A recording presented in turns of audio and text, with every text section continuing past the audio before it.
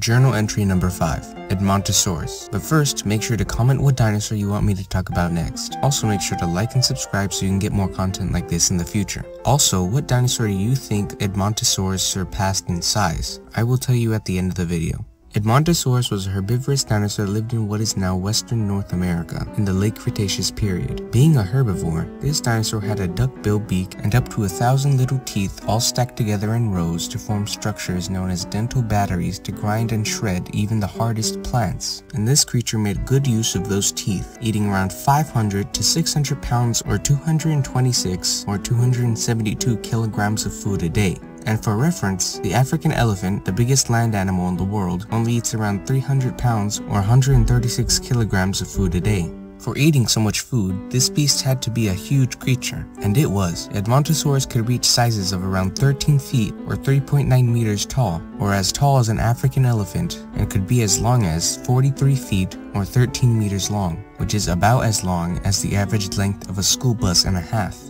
and could weigh in at a scale-shattering 7,700 pounds or 3,492 kilograms, or as heavy as two average cars. And because this dinosaur's massive size, it was one of the biggest hadrosaurs in America and in the world. Despite being such a gigantic organism, it could stand up on two legs or even run as fast as an average person can. The Edmontosaurus is able to accomplish this by having a very long tail that could balance out its weight, making it possible for it to stand up. This tail could also serve as a weapon against predators like T-Rex when it could not run away. Edmontosaurus also had an interesting discovery. In 1892 is when the creature's fossils were first found by paleontologist Charles Marsh in southern Alberta, Canada, in the Horseshoe Canyon Formation, and dubbed Claosaurus annectens and it wasn't until 1917, 25 years later, that Lawrence Lambe would find more Edmontosaurus fossils and call the remains Edmontosaurus regalis, and the name would get coined. And now, there were two different types of Edmontosaurus. You have Edmontosaurus annectens and Edmontosaurus regalis, both meaning lizard from Edmont in Greek.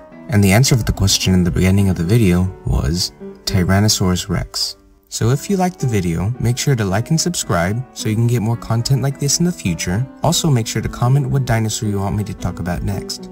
So I'll be going on another adventure to document my findings in the Jurassic Journal. See you next time.